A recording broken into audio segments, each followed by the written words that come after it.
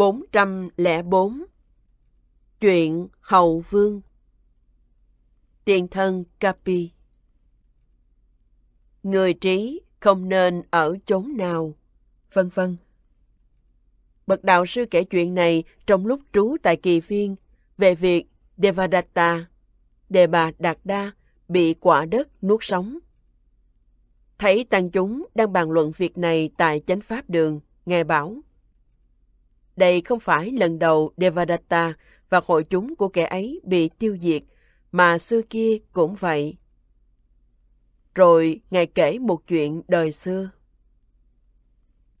Ngày xưa, khi vua Brahmadatta trị vì Ba La Nại, Bồ Tát nhập thai vào loài khỉ sống trong ngự viên cùng cả đoàn tùy tùng 500 con khỉ. Devadatta cũng được sinh làm khỉ, cùng sống tại đó với một bầy 500 khỉ khác. Một hôm, vị tế sư của nhà vua đi ra vườn tắm rửa, trang hoàng thân thể xong.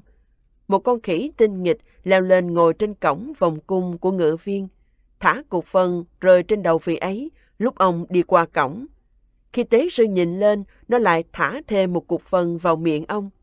Vị tế sư quay lại, hăm dọa bầy khỉ. Được lắm, ta sẽ biết cách trừng trị bay. Rồi ông lại tắm rửa và ra về. Bề khỉ trình lại với Bồ Tát rằng vị tế sự giận và hâm dọa chúng như vậy. Ngài thông báo cho cả bầy ngàn con khỉ. Ở gần nơi cư trú của kẻ sân hận là không an toàn, vậy cả đàn khỉ nên chạy trốn đi nơi khác. Một con khỉ không vâng lệnh, giữ bầy khỉ của nó lại, không chạy trốn và bảo, ta sẽ xét lại việc ấy sao?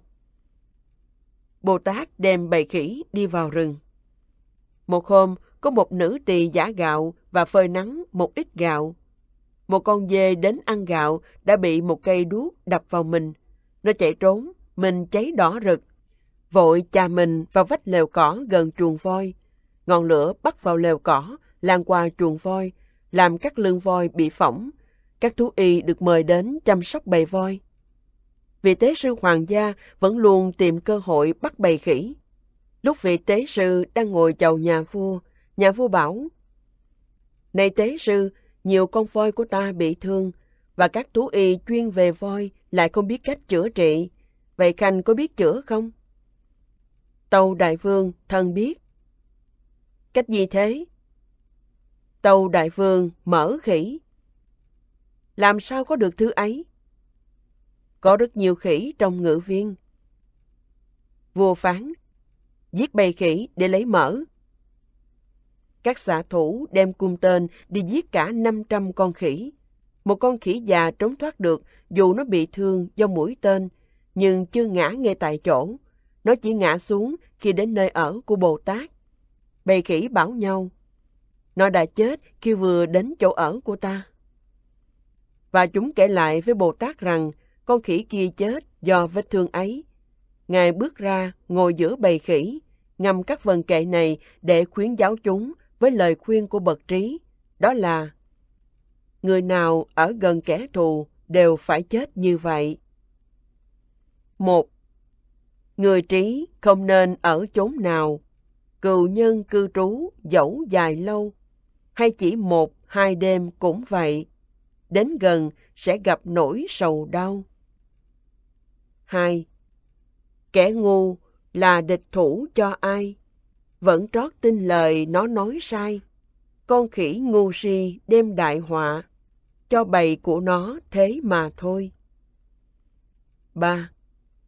Một kẻ ngu si đứng trưởng đoàn vì kiêu căng muốn tỏ khôn ngoan, sẽ không khác khỉ này gây họa, mãi mãi đưa đường đến bại vong.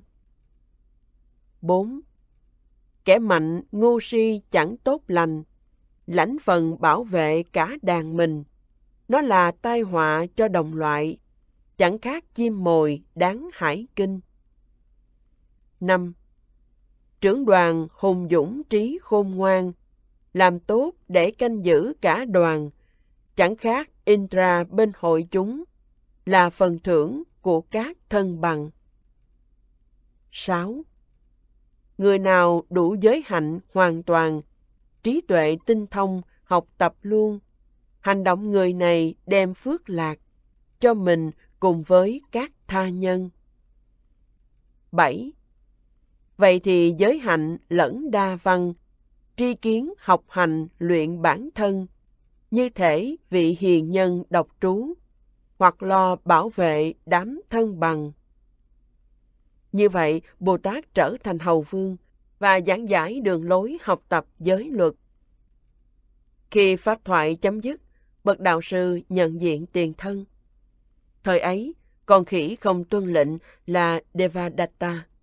Bầy khỉ của nó là hội chúng của Devadatta. Và hầu vương có trí là ta. 405 Chuyện Phạm Thiên Ba Ca Tiền thân Baka Brahma Chúng tôi tất cả 72, vân vân. Bậc đạo sư kể chuyện này khi trú tại kỳ viên về Phạm Thiên Baka. Một tà kiến sinh khởi trong tâm vị Phạm Thiên này, đó là cõi sinh hữu này là trường tồn, thường hằng, vĩnh cửu, bất biến. Ngoài nơi này ra không có sự cứu độ hay giải thoát gì nữa, vân vân. Trong một đời trước, vị Phạm Thiên này đã thực hành thiền định, vì thế được tái sinh vào cõi trời quảng quả, về Hafala. Sau khi đã trải qua đời sống ở đó trong 500 kiếp, Kappa, vị ấy tái sinh vào cõi trời biến tịnh, Subakina. Sau khi đã trải qua 64 kiếp tại đó, vị ấy mạng chung và tái sinh vào cõi trời quan âm, Apasara nơi đời sống kéo dài trong tám kiếp, và chính tại đó, tà kiến này khởi lên trong tâm vị ấy. Vị Phạm Thiên này quên rằng mình đã từng sống ở các cõi Phạm Thiên giới cao hơn và đã tái sinh vào cảnh giới này. Do nhận thức các điều trên, vị ấy chấp thủ tà kiến. Bậc đạo sư thấu hiểu các tư tưởng của vị ấy và thật dễ dàng như một lực sĩ duỗi cánh tay cho thẳng ra hay cong cánh tay trở lại. Ngài biến mất ở kỳ viên và xuất hiện ở Phạm Thiên giới ấy. Vị Phạm Thiên thấy Ngài liền thưa. Thiện lai Thế Tôn, xin Thế Tôn đến đây. Bạch Thế Tôn, thế giới này là trường tồn, thường hằng, vĩnh cửu, tuyệt đối, bất biến. Thế giới này không sinh, không già, không chết, không biến hoại, không tái sinh. Ngoài thế giới này, không có sự cứu độ nào cao hơn nữa. Khi lời này được vị Phạm Thiên Ba Ca nói ra, Thế Tôn bảo, Phạm Thiên Ba Ca đã si mê và lầm lạc khi nói rằng một vật không thường hằng là thường hằng, một vật không vĩnh cửu là vĩnh cửu, cùng những điều tương tự. Nhưng ngoài thế giới này không có sự cứu độ nào cao hơn nữa, trong khi vẫn có sự cứu độ khác. Nghe lời này, vị Phạm Thiên suy nghĩ, Thế Tôn đang khuyến giáo ta khi nhận ra chính xác những lời ta nói. Rồi như một kẻ trộm rụt rè sau khi bị đấm vài cái, vì ấy đáp. Đệ tử đâu phải là tên trộm duy nhất, còn nhiều vị này vị nọ cũng đều là các tên trộm khác nữa. Rồi vị ấy nêu tên các vị thiên cùng hội chúng. Như vậy, vị Phạm Thiên lo sợ Đức Vật chất vấn, nên đã ngâm phần kệ đầu tiên nói lên các vị thiên cùng hội chúng của mình. một Chúng tôi, tất cả 72, chân chánh và cao cả tuyệt vời. Sanh, lão, chúng tôi đà giải thoát. Cõi này là trí tuệ nhà trời. Không thiên giới khác cao hơn nữa. Nhiều kẻ tán đồng quan điểm tôi. Nghe lời này, bậc đạo sư ngầm vần kệ thứ hai. 2. Đời Ngài ngắn ngủi ở thiên đàng, tưởng đời trường thọ quả sai lầm. Một trăm ngàn kiếp trôi qua mất, ta biết đời Ngài quá rõ ràng. Nghe vậy, bà ca ngầm vần kệ thứ ba. ba Thế Tôn, trí đệ tử vô cùng, sanh, lão, sầu nằm ở dưới chân. Xưa đã tạo nên bao thiện nghiệp Thế Tôn cho đệ tử hay chăng? Sau đó, Đức Thế Tôn ngâm bốn phần kệ, kể cho vị ấy nghe những chuyện quá khứ. 4. Xưa lấy nước ban phát những người, lúc đang cơn khát sắp tàn hơi, dưới trời hạn hán như thiêu đốt, thiện nghiệp ngày qua đã mấy đời. Ta biết là ta đều nhớ rõ, như vừa tỉnh giấc mộng mà thôi. 5. Sông Eni thuở nọ bên bờ, Ngài thả nhiều người được tự do, trong lúc bị giam cầm chặt chẽ. Việc lành Ngài tạo dẫu xa xưa, song ta biết rõ ta còn nhớ, như thể mới vừa tỉnh giấc mơ. 6. Ngày xưa trên bến nước sông Hằng, Ngài cứu thuyền người nọ thoát thân, khi bị ác xà kia chụp lấy, vì thèm thịt sống khỏi tai ương. Việc lành Ngài tạo dầu xa lắc, ta nhớ rõ như tỉnh giấc nồng. 7. Ta chính Kappa, đệ tử Ngài, trí đức Ngài ta biết rõ mười. Thiện nghiệp Ngài làm ta nhớ kỹ, như là mới tỉnh giấc mơ thôi. Khi nghe các nghiệp quá khứ của mình do bậc đạo sư thuyết giảng, Ba ca cảm tạ và ngâm vần kệ cuối cùng. 8. Thế Tôn biết mọi kiếp xưa xa, tuệ giác toàn tri quả Phật Đà, uy lực hào quang vinh hiển thực, sáng ngời khắp cõi phạm thiên ta. Như vậy, bậc đạo sư vừa tỏ bày uy lực của một đức Phật, vừa thuyết pháp khai thị các sự thật. Lúc kết thúc pháp thoại, tâm của 10.000 vị Phạm Thiên được giải thoát khỏi các ô nhiễm cấu uế.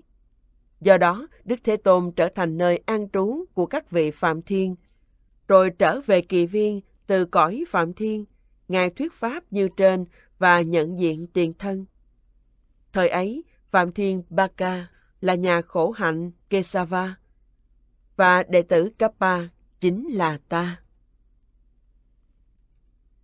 406 Chuyện Quốc vương Gandhara Tiền thân Gandhara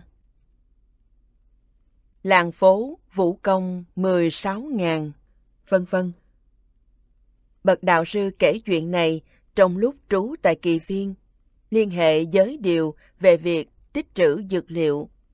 Tuy nhiên, hoàn cảnh chuyện này đã xảy ra ở vương xá. Khi tỷ kheo Pilinji và Vacha đến cung vua để giải thoát gia đình người giữ ngựa viên. Ông dùng thần thông lực biến cung vua thành tòa nhà bằng vàng. Quân chúng hoan hỷ đến tặng ông năm thứ dược liệu. Ông đem phân phát khắp tăng chúng.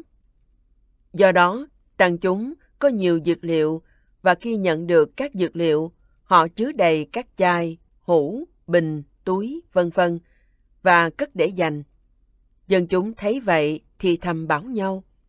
Các tỷ kheo tham lam kia đang tích trữ đồ đạc trong tinh xá. Bậc đạo sư nghe vậy liền công bố giới điều. Bất cứ dược liệu trị bệnh nào khi nhận được phải được dùng trong vòng 7 ngày. Và bảo, Này các tỷ kheo, các bậc trí nhân thuở xưa, trước khi Đức Phật ra đời, dẫu xuất gia theo ngoại đạo và chỉ giữ ngũ giới, cũng đã khiển trách những ai tích trữ muối và đường cho ngày hôm sau. Còn các ông ngày nay, dẫu đã được xuất gia theo giáo pháp giải thoát, là tích trữ đồ đạc đến hai ba ngày ư. Rồi Ngài kể câu chuyện đời xưa. Ngày xưa, Bồ Tát là vương tử của xứ Gandhara. Khi vua cha băng hà, Ngài lên ngôi trị nước chân chánh. Đồng thời, ở vùng trung thổ tại vương quốc Videha, có vị vua mệnh danh Videha cai trị. Hai quốc vương này chưa hề gặp nhau, nhưng lại là thân hữu và tin cậy lẫn nhau. Thời ấy, loài người trường thọ, đời sống dài 30.000 năm. Một hôm, vào ngày trai giới trăng tròn, vua Gandhara đã phát nguyện giữ giới và ngự trên bảo tọa giữa ngai vàng dành cho ngài, nhìn ra một cửa sổ rộng mở ở góc hướng đông. Ngài ngồi thuyết giảng cho quần thần về bản chất giáo lý. Lúc ấy, thần Rahu, La Hầu, vua các thần Atula, đã che hết mặt trăng tròn đầy đang tỏa sáng cả bầu trời. anh trăng biến mất. Triều thần không thấy ánh trăng, liền tâu vua rằng thần Rahu đã chụp lấy mặt trăng. Vua quan sát mặt trăng, nghĩ thầm. Mặt trăng đã mất ánh sáng vì bị một biến động bên ngoài làm hỏng. Nay triều thần chính là mối phiền lụy của ta. Ta không nên để mất ánh sáng như mặt trăng bị thần Rahu chụp lấy. Ta muốn rời quốc độ như mặt trăng chiếu trên bầu trời trong sáng và trở thành ẩn sĩ. Tại sao ta lại giáo giới người khác? Ta muốn ra đi từ giả thân quyến, thần dân và giáo giới bản thân ta mà thôi. Điều ấy mới thích hợp với ta. Vì vậy, Ngài phán, các hành cứ làm gì tùy ý. Rồi Ngài trao quốc độ cho triều thần. Khi Ngài đã từ bỏ vương quốc ở hai xứ Kashmir và Gandhara, Ngài sống đời tu hành. Khi chứng đắc các thắng trí, Ngài an cư mùa mưa ở vùng tuyết sơn, chuyên tâm vào sự an lạc của thiền định. Khi hỏi thăm các thương nhân, vua Videha bảo, Hiện hữu của ta có được an khang chăng? Và được tin Ngài đã ra đi sống đời tu hành.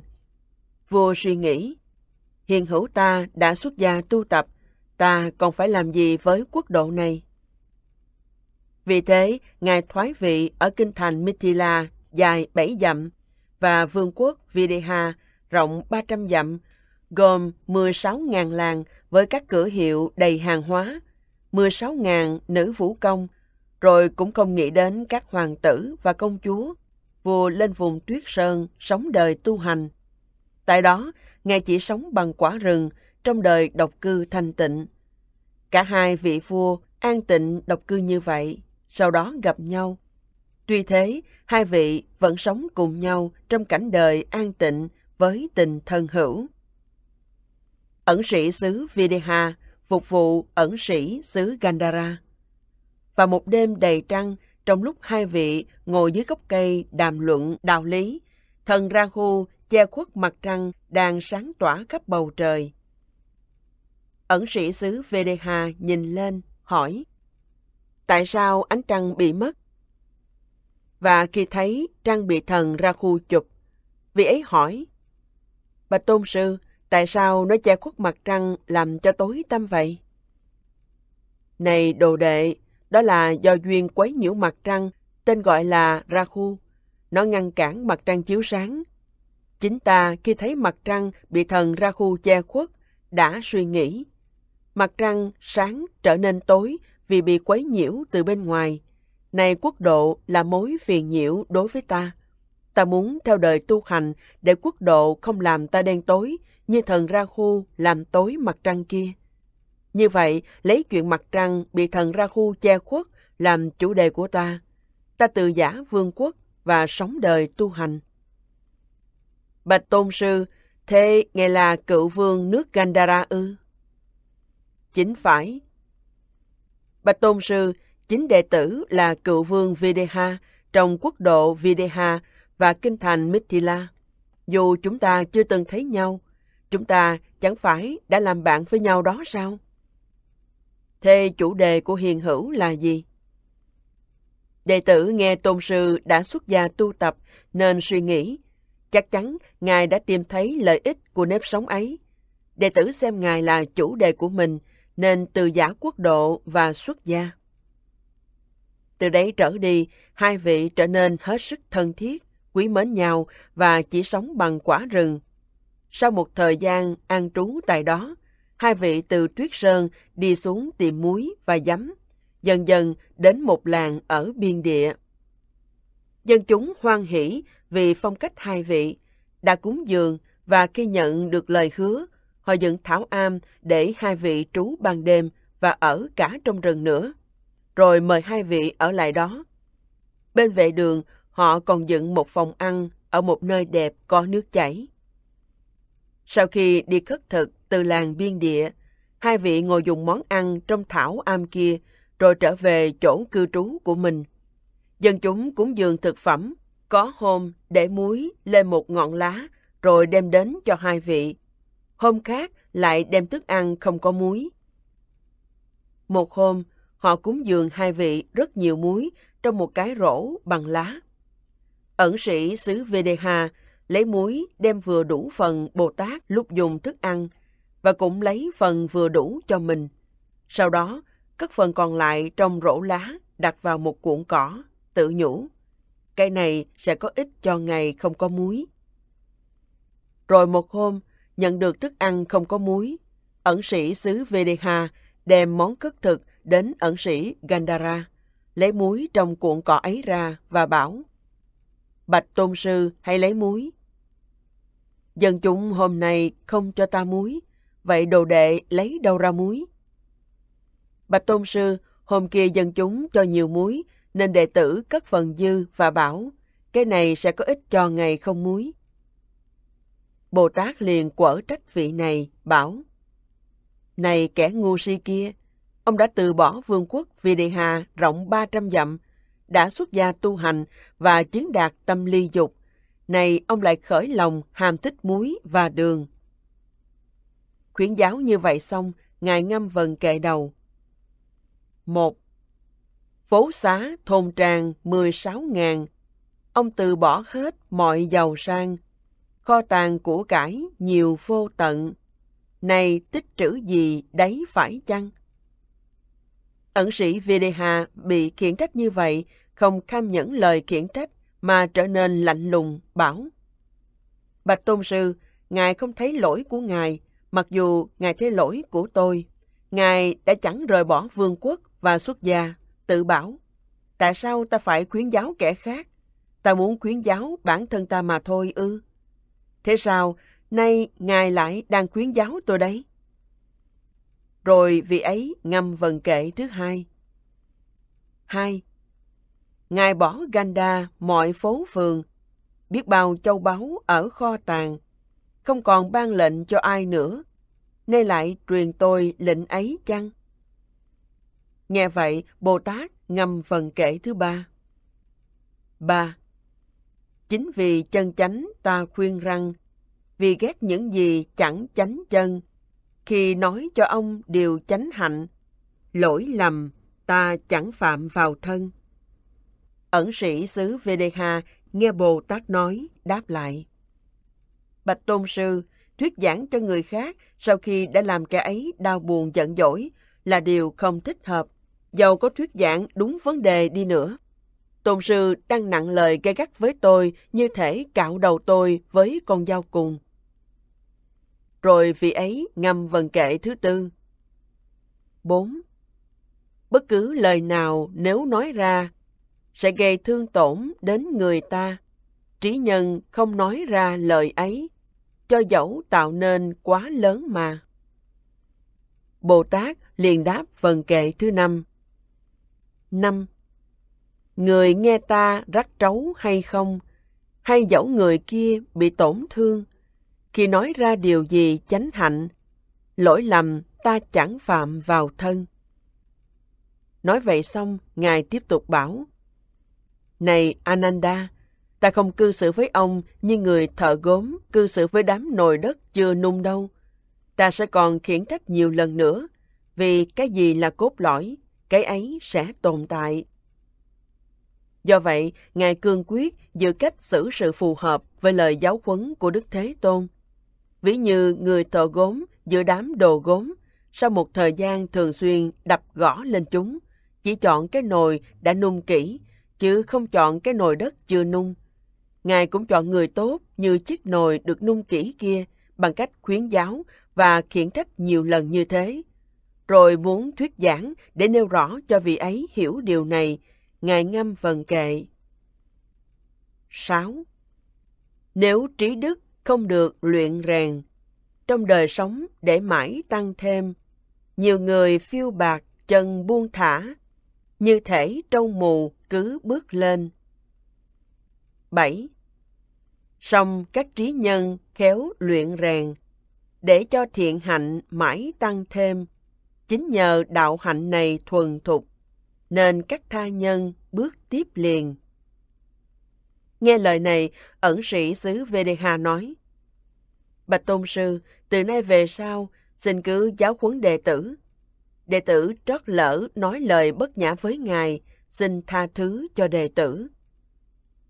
Rồi cúi đầu đảnh lễ cung kính, vì ấy được Bồ Tát thứ lỗi. Như vậy, hai vị đã sống hòa hợp với nhau và trở về Tuyết Sơn. Sau đó, Bồ Tát dạy ẩn sĩ xứ Vedeha cách chứng đắc thiền định. Vì ấy tuân thủ và thành tựu các thắng trí cùng các thiền chứng. Hai vị không bao giờ gián đoạn thiền định, nên về sau tái sinh lên cõi Phạm Thiên. Khi pháp thoại chấm dứt, bậc đạo sư nhận diện tiền thân. Vào thời ấy, ẩn sĩ xứ Videha là Ananda và quốc vương Gandhara chính là ta.